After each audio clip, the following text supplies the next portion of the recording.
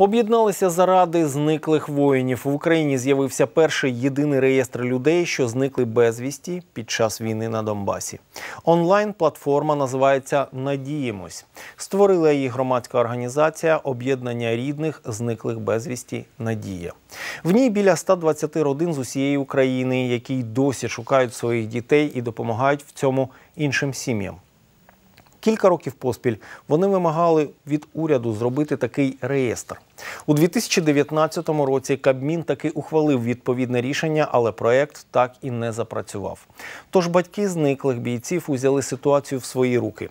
Пошукова сторінка сайту називається Книгою надії. Зараз там є дані про 50 людей.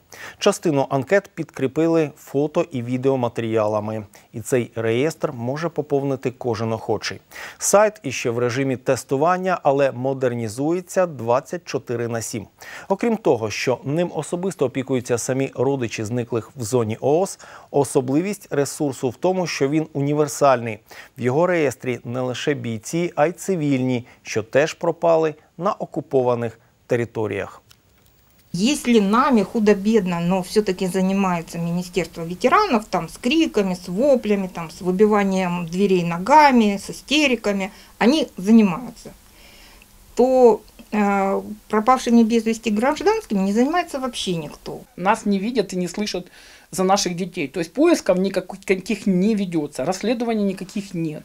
То есть э, какие-то там одиночные расследования, они не ложатся в систему. Раз системы нет, значит ничего нет. Если семья погибшего, они там прошли все стадии горевания, там, это самое, то у нас эт- эти люди остались на, на этом месте, и поэтому чтобы их сдвинуть, расшевелить к работе, и вот очень приходится как бы придумывать различные методы.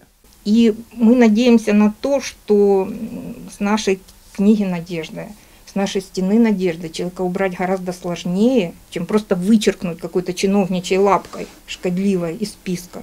Пока будет этот сайт, мы будем заставлять их искать, этих ребят.